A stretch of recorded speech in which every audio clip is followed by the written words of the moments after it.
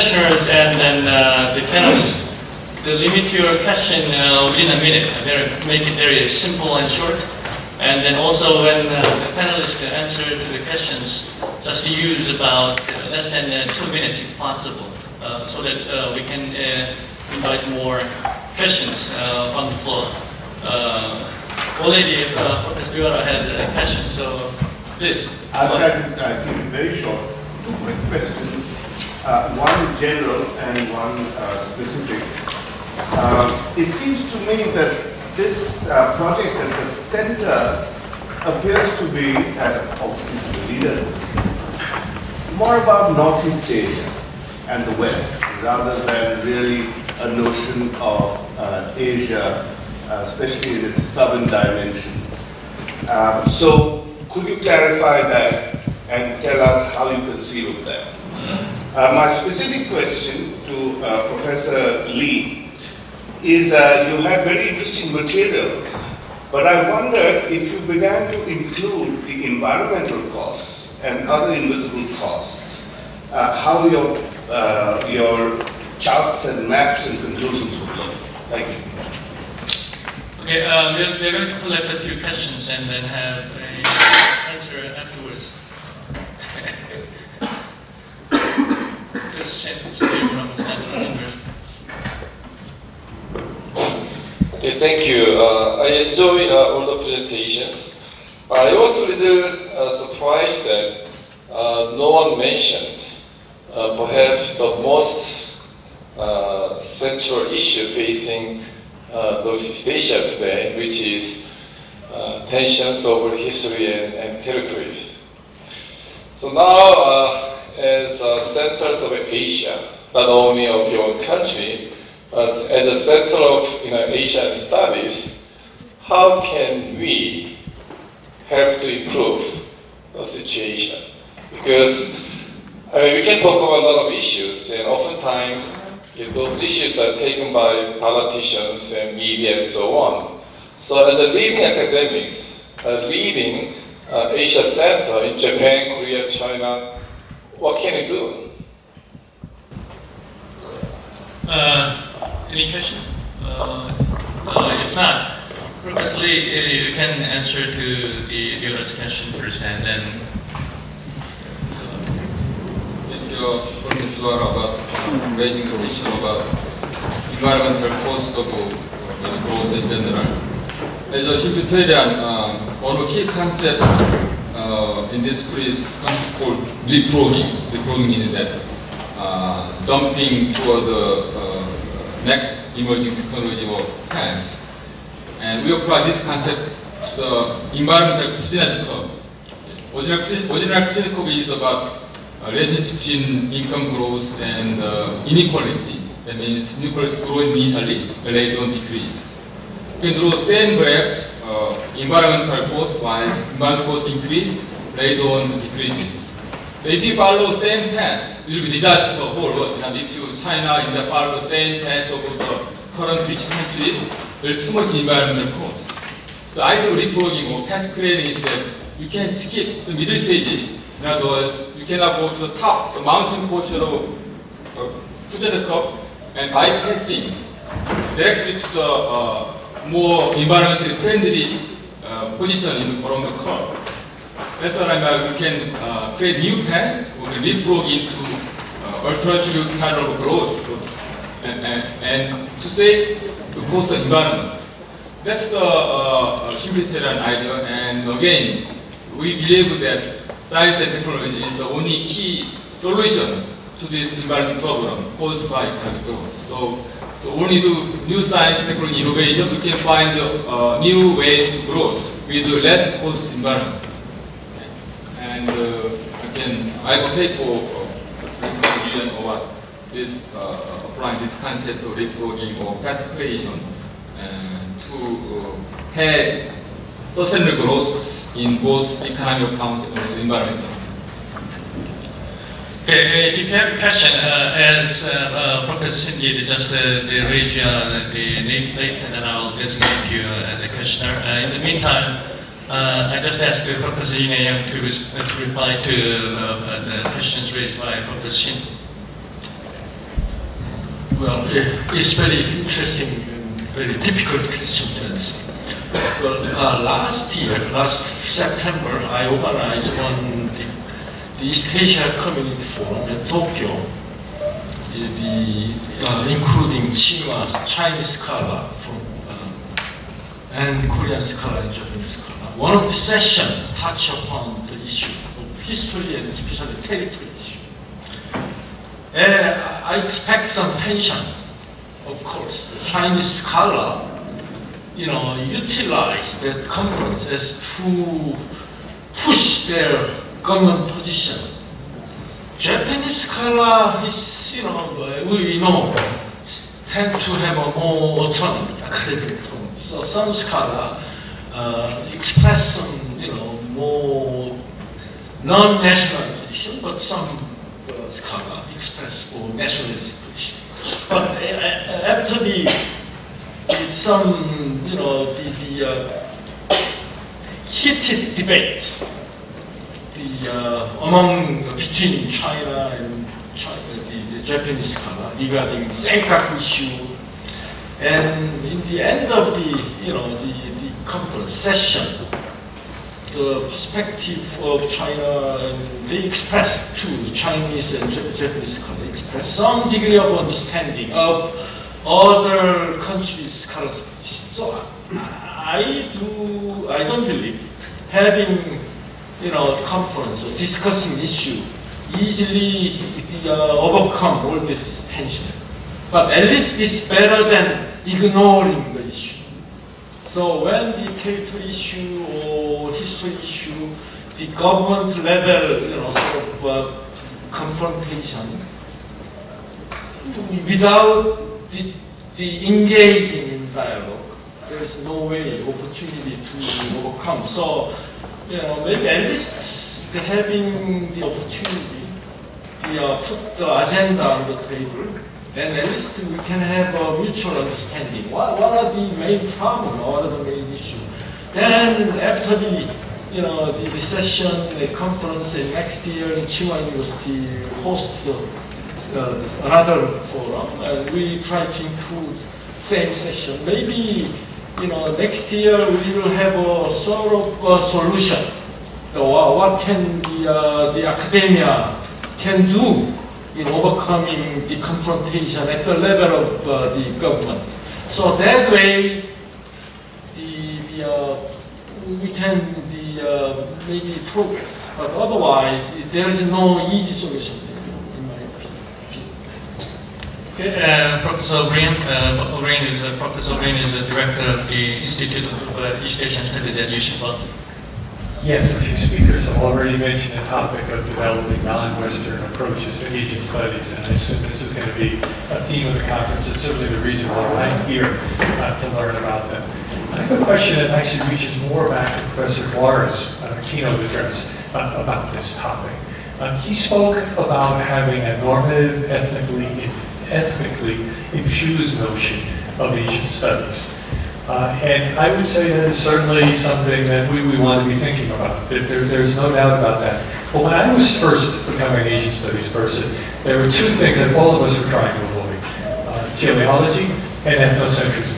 And I'd say at the heart of both of them was a normative, ethically driven notion of how the world should develop. So I've spent all my career looking at how people are getting run over by capitalism, how people are getting run over by change. Yet when I go to China, and I gave a talk recently, and somebody asked me, oh, okay, are you on the peasant side or are you on the government side? I this is not really the way I look at what I'm doing. Uh, there's something different going on here. So my question is, and this is a little provocative to get us moving, is sustainable modernity, is that just the latest normative, ethically driven way of looking at Asian studies that's going to be bringing Western values? And who can, dis- who can disagree with sustainability? It sounds like something that none of us can disagree with. But a lot of these other ethical, normatively driven ways of looking at Asian studies also came uh, from the West. And is this something that we want to be working toward or having the same kind of concerns about? As we didn't have a Q&A session for the keynote speech, I will give two minutes to Professor Duara to comment on this. Uh, okay. Well, uh, I think the first thing is that uh, I don't think that this notion of sustainable modernity is ethnocentric. I think it, it is uh, a situation when the world has become very much aware. The problem is, in fact, And everybody in this room has to acknowledge wherever they're from. yes, I think so. So it's not Western. It's certainly not Western, is what I'm saying. Uh, I think the problem is, is, if anything, it's a national problem. What uh, uh, the gentleman I was talking about, Mutsuyoshi uh, Nishimura, uh, talks about is that every time there's a discussion, whether in Kyoto or Durban or Rio or something, you have the US and the Chinese quarreling about who goes first when you want to control carbon credits, right? You basically have to control it. Uh, there is a certain, they worked out the plans, right, in, uh, in 50 years to limit it to 2% growth. Uh, and, but the whole thing is that we cannot go back to our people and say that we are going to control it. And look at what happened in Australia. The one place which did it, Abbott had to go back. Uh, he went back, and the kind of nationalist ideology he went up uh, to go back. So, firstly, I don't think it's an ethnocentric thing. Now, of course, normatives uh, have their, uh, ha- anything that's normative has politics that takes it over, right? Uh, but I think that we have to, that, that's a human thing. The point is that what kind of politics is going to take it over? And I would very much hope and feel that it is the new emergent sectors uh, of global civil society and communities in alliance with particular agencies and so on that uh, do that. I'll just leave it at that. Okay, uh, uh, okay, spot. Okay, thank you. Uh, I'd like to raise a, some different issue regarding to the theme of this session, uh, emerging questions in Asian studies. Uh, can you hear me? Yeah, okay. Uh, I'd like to say that we need to pay more attention to the studies on Asian cities and urbanism. Uh, today, both key keynote speakers talk about the necessity of what uh, uh, engage more transnational studies on uh, East Asia or Asia. There could be a, a way of, of uh, on, uh, for alternative approaches to Asian studies. So, I think another way of avoiding some dangers of methodological nationalism could be studies on studies on Asian cities and urbanism. Methodological nationalism can be avoided in two different ways. One is going moving upward to the transnational scale, but the other way is moving downward to the urban and local scale. Emphasis on connections and networks does not necessarily mean that we have to believe that the world is composed of just one single social space. The, the transnation should be seen as something composed of multiple social spaces constructed at different places and different geographical scales. Nation states are just one layer of these social spaces. Thus, transnational networks and flows need to be seen not as something evenly stretched, uh, stretched out across uh, space, but as something unevenly connected to these multiple different social spaces and taking place across multiple geographical scales. Thus, the transnational or trans-Asia as method of new Asian study need to pay attention not just to the international or interstate connections or relations, but also to the inter-local and inter-urban connections and networks. And uh, maybe uh, this issue may be uh, indirectly address the question raised by Professor Shin. Uh, he raised the issue why we uh, what, what we can do with the current uh, territorial conflict in East, Northeast Asia. Of course, it might be good we, if we can have an answer, immediate answer, solution to those questions as academia. But academic research cannot always uh, find, find an immediate solution to real uh, world issues. And usually international issues, uh, area studies and regional studies tend to pay attention to the national scale issues and state level problems. But as I mentioned previously, in finding out immediate solution is not what we always looking for. Right? Sometimes we try to develop some new ways of approach and imaginations uh, to see the world and some regional issues. And there- that new ways of approach could be a transnational as a, a, method, trans-Asia as a method. So in relation to that, uh, I propose just instead of paying attention to national level problems and issue solutions, we can try to find some another levels of issues, area, uh, ideas, transnational, translocal, trans-urban kind of connection networks, that kind of imagination we need to find out. So in that regard, uh, Asian urbanism and Asian cities approach also need to be very much needed. Thank you. Actually, I was uh, trying to pinpoint you to, uh, to respond to his question. Actually, uh, I wanted to link his uh, comments with your the idea of the decentral, decentralizing the knowledge of Asia. knowledge.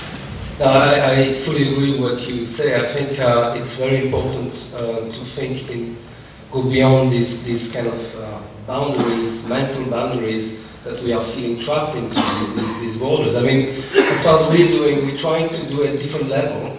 Uh, this this grant that we got was partially aimed at shifting a lot of these these boundaries, these intellectual boundaries. One of has to do with acknowledging this the, the limitation of geographical compartmentalization of, of, of Asia. And, and we chose actually, so you can avoid addressing directly, as you mentioned, these, these border issues, but you can also address them in a different way. We have a, a we're supporting a network on borderlands with uh, pres- um, Wilhelm sorry, and all these scholars. So how, what it means to live on these borderlands that have been constructed often artificially in, in, in the last uh, century or so. So uh, that's a way to confront it directly. Another one I agree with you is, is the, the, the rising importance of cities. And, and, and cities is very important because it, it touches upon the local and, and, and, the global. It also opens new questions. I, we realize among, uh, we have a, a totally interdisciplinary network of scholars working on cities, from people working on literature, archaeology, uh, history, to uh, urban planners, architects, etc. And for instance, they identify connections that are not necessarily you know, coming up in our mind. For instance, there's more connection between Phnom Penh and a city in Africa than between uh, Phnom Penh and, and Tokyo, for instance. So it helps to de- de- territorial- territorialize a bit uh, uh, of Asia, and, and somehow it cools down bit these, these constructions, uh, the, the state construction. It, also, also I think the, the urban aspect is, is very interesting in terms of uh, giving uh, space for dealing with beyond academic uh, uh, uh, pure um, partners and, and dealing with local authorities. We have a series of in situ roundtables where we work with communities in a revitalization of, of an urban area. We did one in, in downtown Taipei, for instance. So in this case, we bring the scholars together with the local community as well as local um, uh, author- uh, authorities. And, and so I, I agree that that's a way also to decenter uh, uh, the way knowledge collection is, is, is shaped in, in, in uh, classical academia. Of course, there are other ways. Uh, we have two programs, one on, on Central Asia, where Central Asia begins and ends, nobody knows. I mean, everybody argues. The problem is Central Asian scholars don't usually have a, a say in that. It's mostly scholars from Russia, from uh, US, from Europe and Japan and so on. Uh, and likewise with the uh, Indian Ocean and the Bay of Bengal. Uh, so we can definitely identify concretely these kind of uh, topics, transversal topics that can really go uh, free us from these, these uh, nation-state uh, boundary uh, problematics. Okay, uh, two more scholars raised their hand, but uh, I wanted to take a full advantage of uh, my privilege as a chair of the session because uh, we all talked about the trans-Asia, transnational Asia, and then uh, Spark raised a very interesting question of this uh, trans-urban or uh, in- intercity uh, relationship. But uh, the Professor Wu, uh, the talked about family and family plan is a different level of analysis. You you didn't spend, you, you spent only eight minutes, two minutes left. So how do you link your family plan studies with the Asian studies in large? Thank you. If I may, I try to use this example to explain if you speak in Chinese, if you speak in India language, or speak uh, Russian, or Japanese, or Korean language, you, you have the own concept. Those concepts have the, like a tree have the root uh, on your own ground. This ground maybe has a thousand years. So uh, now we have uh, the uh, communicate with English is very convenient, but very difficult to explain our own concept, uh, who is a, is a means family, or it means individual person, or it means a you know, clan family, very big family. So in English, it's very difficult to find the word or vocabulary can make this meaning. I try to use this example explains why Chinese economic uh, situation in such a huge population and slight uh, resource can make something is cheaper. The cost is same. You human being is quite similar. We and you is quite similar. And it, uh, where background, maybe you, you didn't see it. You just say individual person, you just this person have right or duty. Uh, If their family were together, they, they will become cost a lot. So uh, maybe it will difficult to change our culture, uh, like uh, Western culture, where, where our family, where parents will we give up their whole life for training us, and for our generation will give up our, our time, our money, our dream, our son and daughter. Especially Chinese only one children. And so this is family strain will become a very strong social capital, will be put in a, a economic situation, become very, very, very interesting. I just try to make this meaning. I'm not sure I'm clear or not. Uh, Can I make a follow-up to Professor Wu? Yes, please. Uh, Yeah, I think uh, the- from your point, the- we Asians, based upon our histories and different uh, historical experiences or everyday life, like Jia, the the family in Chinese, uh, Jia, or uh, Japanese Ye, or uh, Korean uh, Ka, it's the same Chinese character.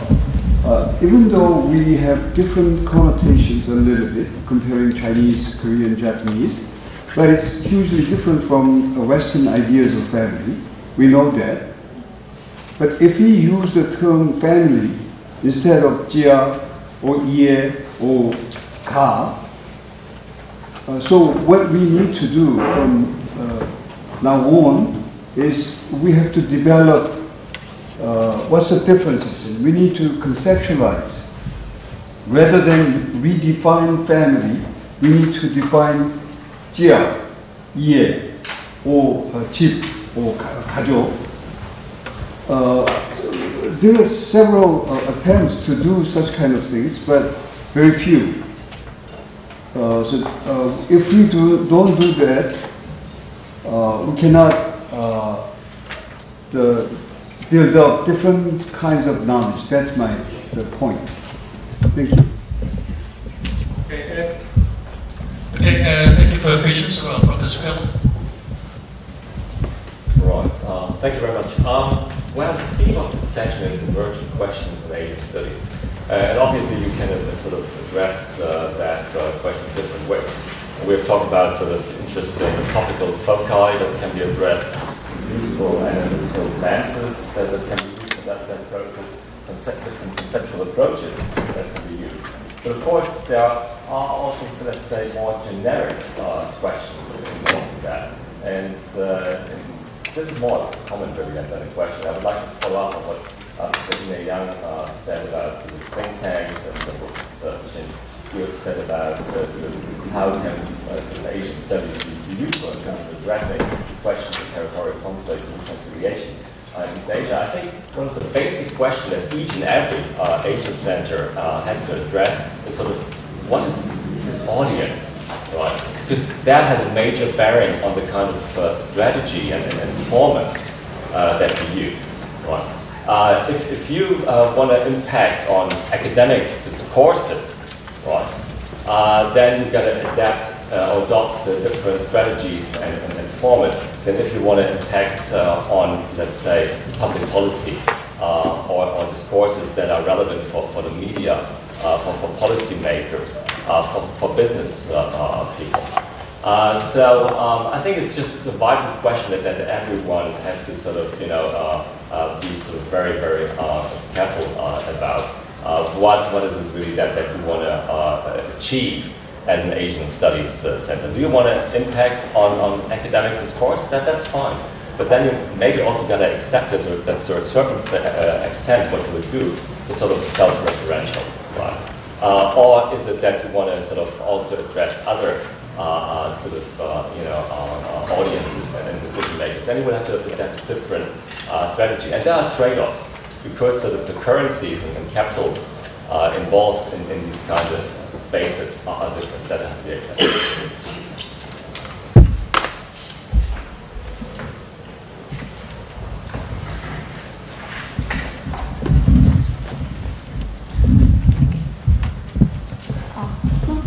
not a I we are missing some voices here. Uh, for example, we are talking about emerging questions in Asian studies.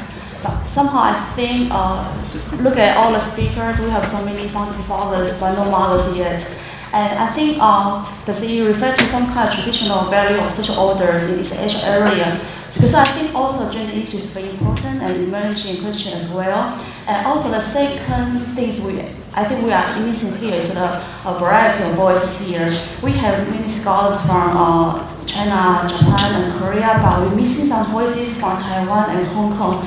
And I think since we are going to, we try to emerge, engage that dialogue with each other, and trying to go beyond the paradise, I think maybe uh, more diverse voices be included to uh, further uh, perspective in future studies. So I think uh, maybe gender issues and uh, voices from the, some area who are missed here will be very critical and better to be involved in the future. Thank you.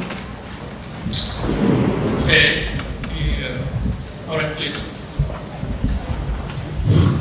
Um, as an economist, I'm kind of uh, surprised to hear in this room all talk about transnational or transnational because it was economics who proposed the idea of liberalization or market opening so forth. Now it is stopped in the economic world. And now we are talking about this, so I'm kind of confused. Because now all nation states coming back to try to solve their own problem in national specific policy measures. So now, so uh, the tendency toward uh, liberalization and globalization has become stopped because of uh, after the especially financial crisis of 2009 and 8 in uh, in USA. So I don't know uh, how uh, the, the national transitionally can be a useful uh, unit of analysis for Asian studies for any country. So I don't know how transition suddenly uh, comes out as a useful concept. I, I, I want to be persuaded or enlightened by as, a, an economist. yeah, the thing about our, my graduate school of international studies is the business person. Uh, if uh, as a political scientist, if we're all talking about the national controversies and others, why you have to only think about in terms of the national boundary, go beyond it. So economy is much beyond and much earlier. that uh, reminds me of your comment on this subject. Uh, I think the time is running. Is there any person who can uh, lunch if you do not raise any question or comments? If not, I wanted to like, wrap it up. I think we I wanted to link all the presentation with, to the, the original point that raised by Professor Myung-gu about this transnational Asia is going beyond the national boundaries. And actually, Professor Peycam and Professor Iwabuchi also talking about decentralizing uh, Asia and trans-Asia, which we are talking about uh, the, the widening the boundary of uh, Asia. But at the same time, uh, Professor Lee Nae-young, uh, the suggests a very interesting idea about kind of a, some kind of, we have to develop some uh, uniquely Asian perspective, which is not necessarily going against the Western conception of social science or research.